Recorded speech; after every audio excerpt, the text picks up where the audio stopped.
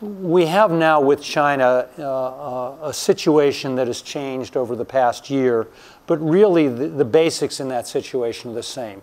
You have the United States, which is a net importer of goods from China, and you have these, these goods come over in containers, uh, and then those containers are emptied, and they want to fill them up going back, so they want to fill them up with scrap paper.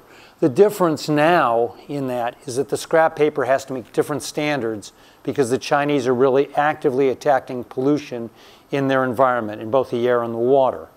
Uh, so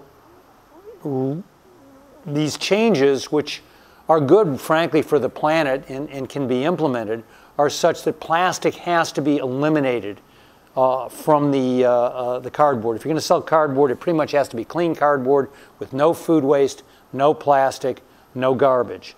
And the penalties for not complying with that are truly harsh.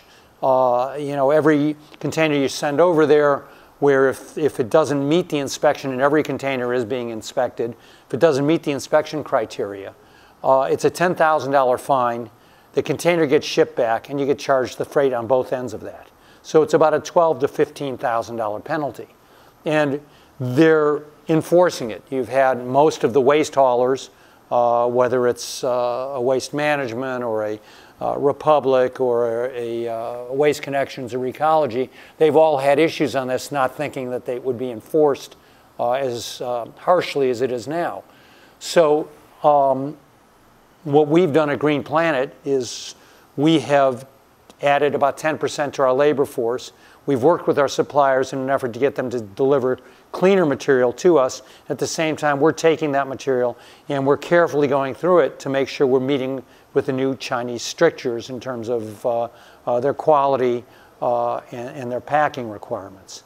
Um, and it's a good thing in the sense of uh, you don't want to create more garbage. You want to create a good stream of reusable, recyclable material uh, on one hand, and, and, transferring pollution from the United States to China, when one looks at the planet as one ecos ecosphere, is, is not a desirable sort of thing.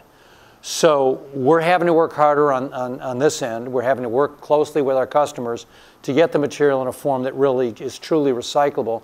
Because certainly in Northern California or on the West Coast, the vast bulk of the material goes offshore into China, which takes 30%, or last year took 30% of the waste paper exports from the United States.